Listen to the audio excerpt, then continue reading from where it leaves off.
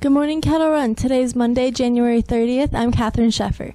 Tomorrow is the last day to purchase a senior baby ad. Order, order yours today at jostens.com. Applications for Mountain Vista Governor's School are due to guidance Wednesday.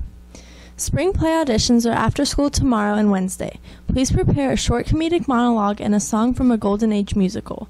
There are parts for performers of all abilities. Sign up for your spot now on the bulletin board outside of Mr. Fleet's room. Students who signed up for the AAPPL test are reminded that the test will be tomorrow during fourth block in Lab 205. See Ms. Fermacell if you have any questions. Seniors that plan to attend LFCC after graduation are highly encouraged to meet with admission representative on February 2nd.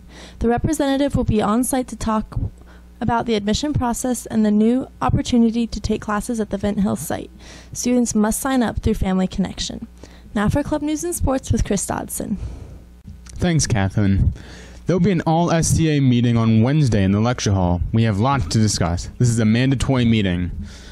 National English Honor Society applications are due by the end of the day today to Mr. Golomowski, Ms. Tuthill, or Mr. Washington.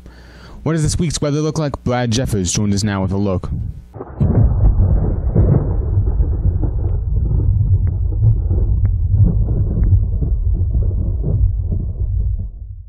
Thanks, Chris.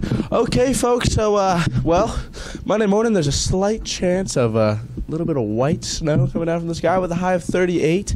Then on Tuesday we're looking at about the same thing with a chance of some snow in the morning and a high of 43. Then on Wednesday, well, there's no chance of snow, but it's going to be mostly cloudy with a high of 45. Now I just want to say happy birthday to my sister Ashley. So, and that's the weather for no better. Back to you. Thanks, Brad. Have a great day. We with a look at the birthdays and the lunch menu.